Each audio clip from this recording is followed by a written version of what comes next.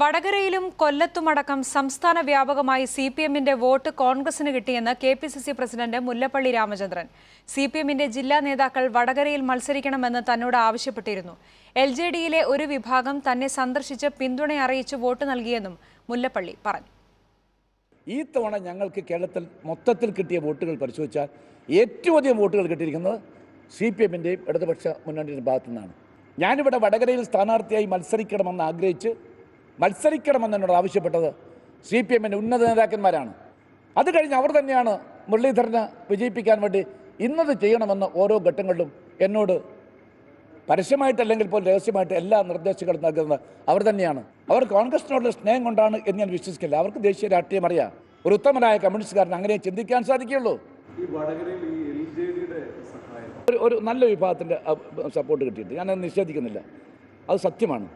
എന്നെ വന്ന് കണ്ട ആളുകളുണ്ട്. അതൊക്കെ തന്നെ പറഞ്ഞിട്ട് അതിനിപ്പോൾ അത് അവർക്ക് പാർട്ടിയിൽ ഒരു ഒരു വിഷമം ഉണ്ടാക്കേണ്ട.